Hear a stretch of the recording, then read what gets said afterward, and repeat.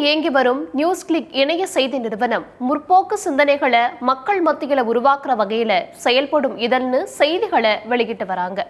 இந்த நிலையில கடந்த ஆகஸ்ட் மாதம் நியூயார்க் டைம்ஸ் சீன அரசுக்கு ஆதரவா பிரச்சாரம் செய்யும் விதமா நியூஸ் கிளிக் செயல்படுவதா செய்தி வெளியிட்டாங்க.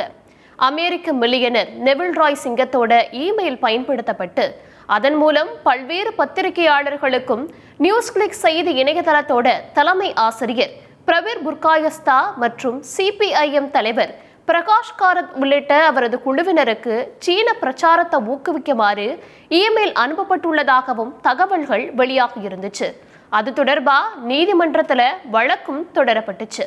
இந்த நிலையில டெல்லி நொய்டா காசியாபாத் உள்ளிட்ட நியூஸ் கிளிக் செய்தி நிறுவனத்துக்கு சொந்தமான முப்பதுக்கும் மேற்பட்ட இடங்கள்ல டெல்லி காவல்துறையினர் சோதனை நடத்தினாங்க. அதில் பத்திரிகையாளர்கள் ஊழியர்களோட வீடுகளில் டெல்லி காவல்துறையின் சிறப்பு பிரிவினர் சோதனை நடத்தினாங்க.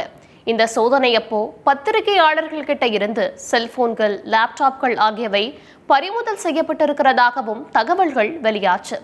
நியூஸ் கிளிக் நிறுவனத்தின் மீது இந்தியாவுக்கு எதிரான நடவடிக்கைகளுக்காக சீனாவிடமிருந்து மறைமுகமா பணம் பெற்றதா குற்றம் சாட்டப்பட்டு சட்டவிரோத நடவடிக்கைகள் தடுப்பு சட்டத்தின் கீழ் வழக்கும் பதிவு செஞ்சு அந்த நிறுவனத்தோட முதன்மை ஆசிரியர் பிரபீர் புர்காயஸ்தாவும் மற்றும் அதன் மனிதவள பிரிவின் தலைவர் அமித் சக்கரவர்த்தியையும் கைது செஞ்சிருக்காங்க டெல்லி காவல்துறை.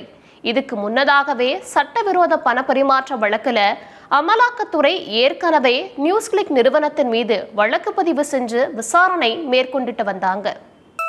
ஒரு நாள் பத்து தலைப்புகள் நூறு செய்திகள். இன்றைய செய்திகளில் அசத்தலான ஒரு மணி நேர தொகுப்பு செய்திகள் நூறு. நாள்தோறும் காலை ஆறு பத்து மணிக்கு மற்றும் இரவு ஒன்பது மணிக்கு நமது நியூஸ் தமிழ் தொலைக்காட்சியில் காண தவறாதீர்கள்.